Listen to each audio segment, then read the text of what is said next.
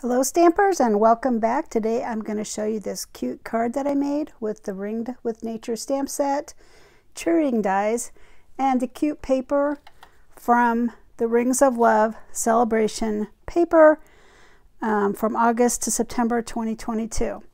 But maybe you weren't fortunate enough to get that paper, so I'm going to show you how to redo this card and just use the bundle Ringed with Nature.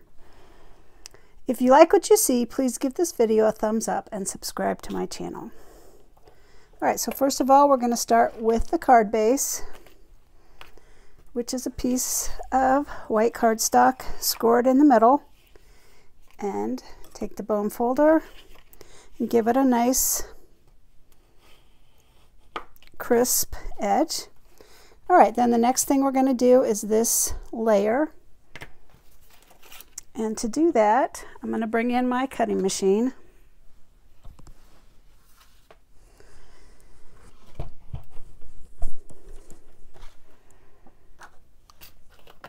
And we are going to use this embossing folder. It's actually a hybrid embossing folder. It's really quite cool because it um, cuts and embosses at the same time. So first of all, though, to do this background, we're just going to emboss it. So we're not going to use this. We're only going to use the embossing folder. And I took a piece of soft suede cardstock. And I'm going to put it in here. And just center it in the embossing folder. Put the folded edge towards the mechanism and set it in here and rotate it through my machine.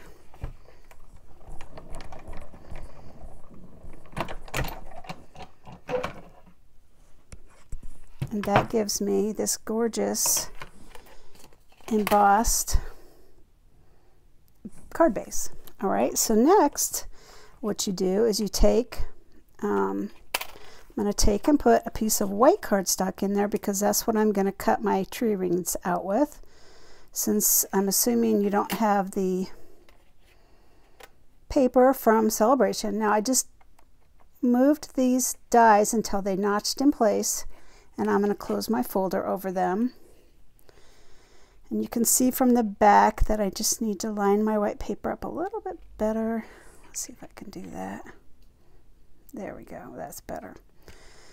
All right, so now I'm just going to flip it over so it's cutting side down. I'm going to put it on my one plate with my specialty plate on top. And it's just that simple. Then you crank it through.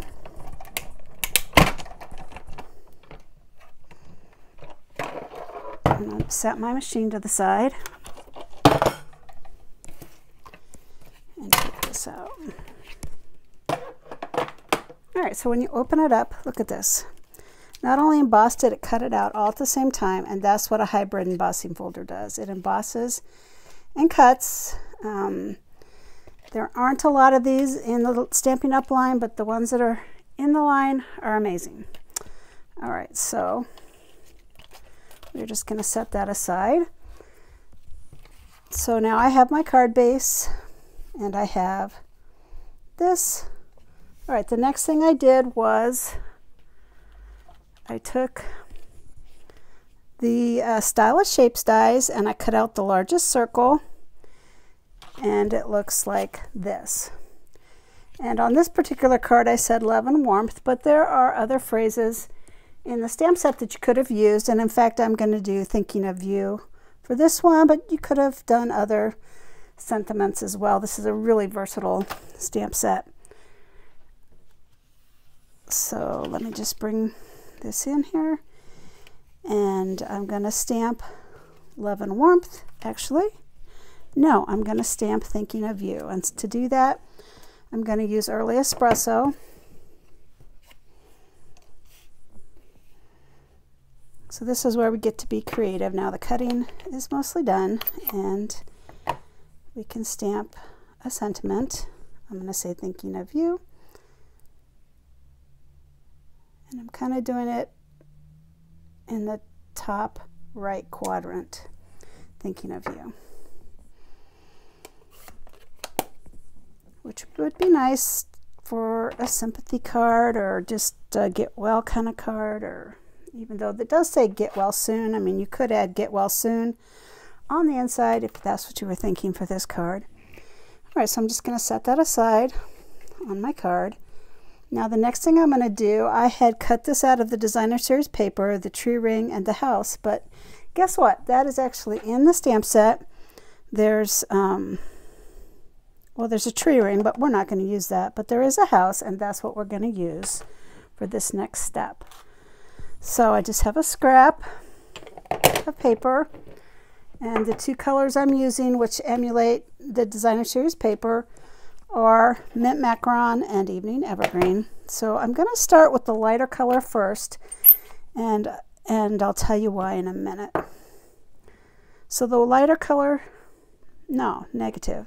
I'm going to start with the darker color first, uh, the Evening Evergreen, because it's harder to line it up if you do it the other way, and I'll show you my boo-boos from that. All right, so I tapped it, the pad in Evening Evergreen, and I'm going to stamp the roof first. So there is the roof. And now I'm going to stamp the house in Mint Macaron, which is funny. I always thought it was macaroon for the longest time, but I found out, nope, it's macaron. All right, so now it's really easy to see where I need to line up the stamp. And look, I did a good job. When I did it the other way around and did the mint macaron first, I got these little air gaps because I couldn't line them up and it didn't look good. But this looks perfect. I'm really happy with it. And all I'm going to do now is take my snips and fussy cut the house.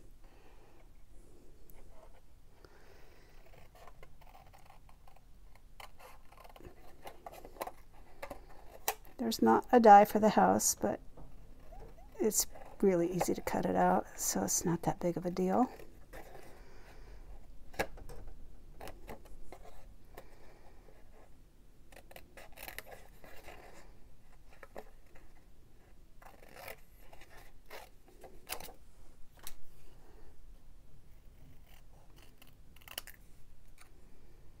So you of course could have chosen any color to do this with. I'm just trying to make it look sort of like the one I did with the Sale-A-Bration paper, but you could choose any color.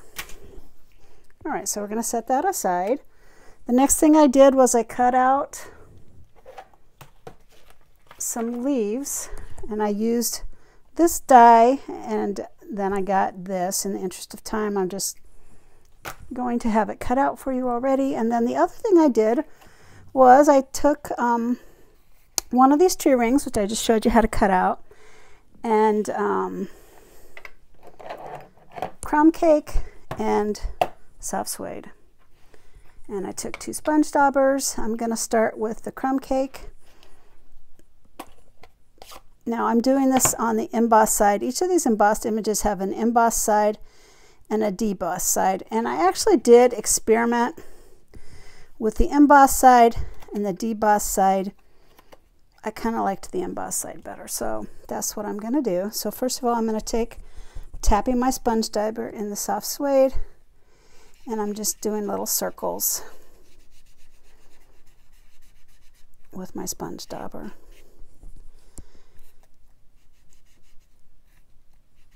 And you could like rub it off on a piece of paper first if you wanted to, just to make sure you don't get too intense of a color. But for this particular project, I wanted an intense color, so I'm not going to do that. All right, so that is the crumb cake. Yeah, just making sure. And now I'm going to take the soft suede, which is slightly darker, and rub that around the edge. To do that, I'm just going to hold it up.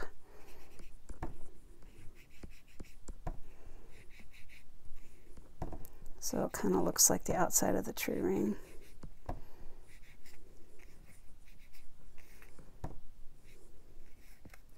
Now this paper had like a little bit of green. You could bring in a little green if you want to, but I'm not going to mess with it because I have a feeling I couldn't make it look quite as good as that. So All right, now these sponge daubers are reusable. You just take them to the sink, rinse them out, and uh, you might end up with some staining. Like here's one that's stained, but um, it doesn't affect future use. Like it won't bleed in that color.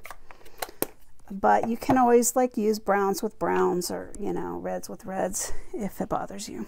All right, so now we are almost ready to assemble. The last thing I did was make a little bow from the Baker's Twine Essentials pack. And now we are ready to assemble our card. So hopefully my hands aren't too dirty. I think I'm to take a baby wipe and just wipe them off real fast so I don't end up with fingerprints, which sometimes I do. All right, so here we go. There's my card base. And I'm going to put some adhesive on the four corners. You can use whatever adhesive you like.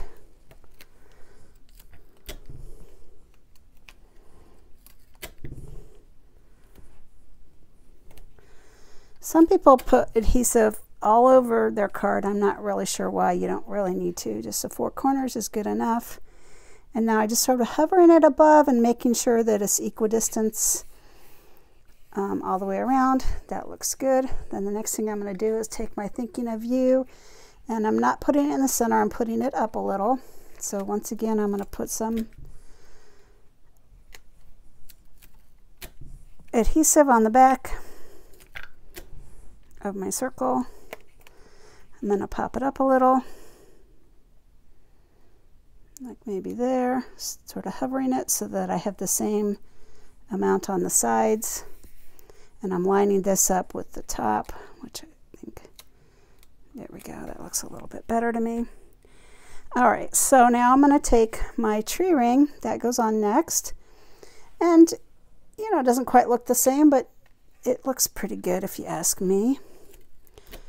I might have gone a little lighter on the crumb cake, uh, but it looks fine. I'm going to put that down here. And then I'm going to take my house and uh, I'll put that on next.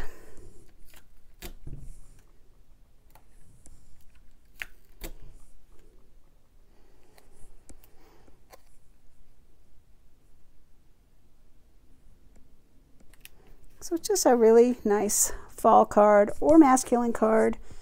Um, the next thing I'm going to do is take my little um, branch and I'm going to use my silicone mat to put some glue on the back. The silicone mat is nice because if you get extra glue, if you spill it, it goes on your silicone mat. You can just rub it off when it dries and you're not getting glue all over your work surface.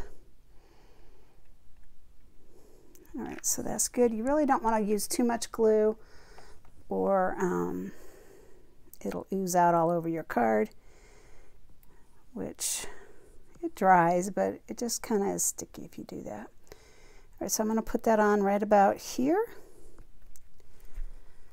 And I'm going to take my little bow, there it is, I covered it up, and use a glue dot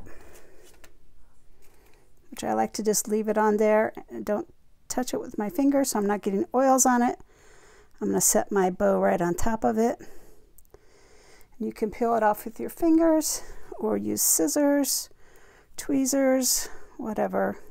I'm just going to peel it off and put it right there. And then the last thing I want to do is just um, cut the tails. If I can find my scissors, there they are. And look at that. Very cute. You didn't need the Sale-A-Bration paper to make this cute card because you can just make it yourself. There's the one from the Sale-A-Bration. They look pretty similar. Um, like I said, I might have gone lighter on the crumb cake. Um, here's an example of lighter on the crumb cake, and it probably has a better contrast. So thank you for joining me today. If you like what you see, please give this video a thumbs up and subscribe to my channel. Bye.